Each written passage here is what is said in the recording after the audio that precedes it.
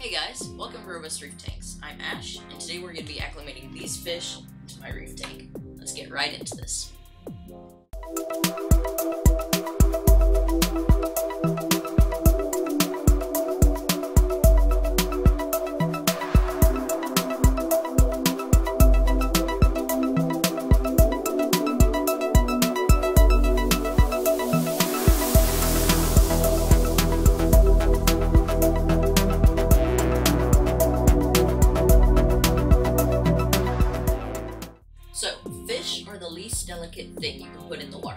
Not to say that you should acclimate them, but the most delicate creatures you can put in here are coral and crabs, or vertebrates, I guess, crabs.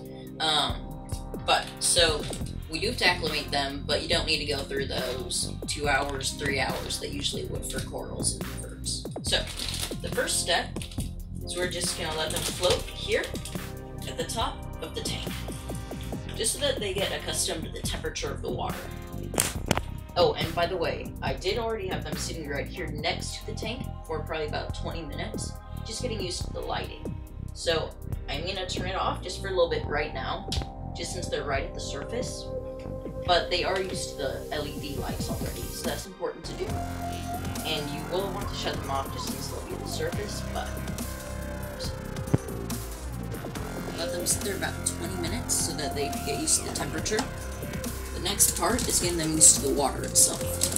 So, I'm just gonna snip off the top of the bag. I've tried doing the rubber band before, but trust me, it's not worth it. It's not off. It's made to stay there, so just leave this way. Alright, now, what you're gonna do is you're gonna roll the bag just so it's a little bit smaller. You don't want to snip off this because this is actually what's going to keep the bag afloat top without being connected to the side. So I'm just keep like that, just secure it. There we go. Should work just like that.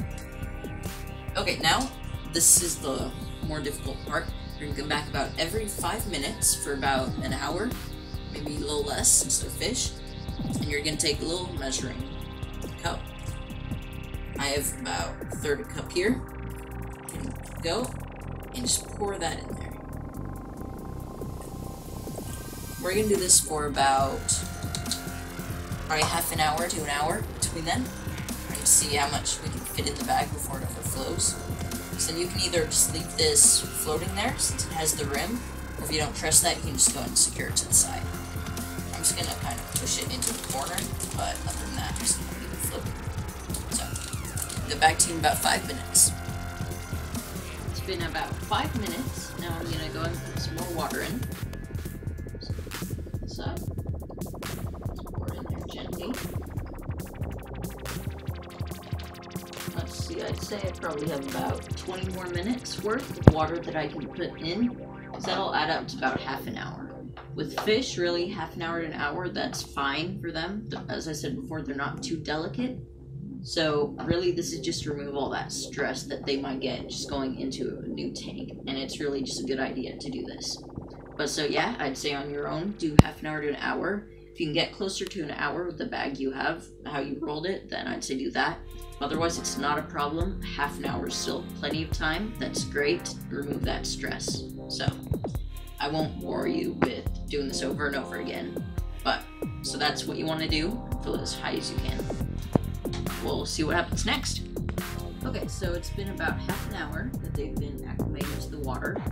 So now the next step is just to put them in the tank. So do not pour the water. You do not know what's been in it. It's not a good idea. So just get your little net. Reach down into the bag. Preferably just get one at a time. So they don't hurt each other as they're scared.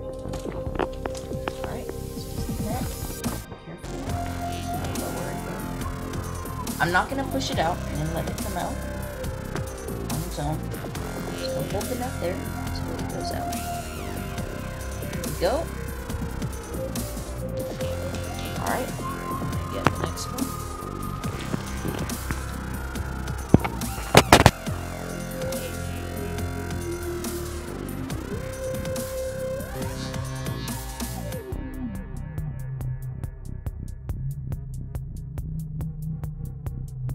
Go. Take this bag out. Get a towel. And I'm just gonna pour this water down the drain because I do not want it in my tank. I really have no other use for it. So that's it. Um, for now, just get them used to the light.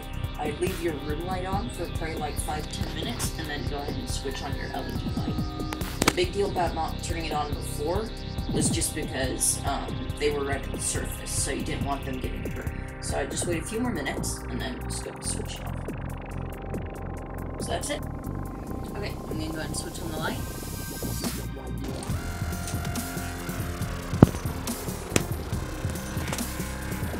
Two of them are right here. Not sure where the other is, but I'm sure it'll turn up. In case you're wondering why my tank is all foggy, this is commonly known as new tank syndrome. It's just because you don't have any fish in there yet. So the bacteria is going to go crazy, and that's why it's so thick, because there's so much bacteria.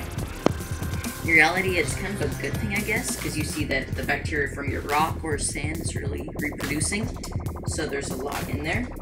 Um, so yeah, get your fish, and once you have them in there, it should go away in just a few days. Um, but anyway, so I hope you found this video helpful. If you liked it, then please like and share. And if you want to see more by us, then subscribe down below. Thanks for watching.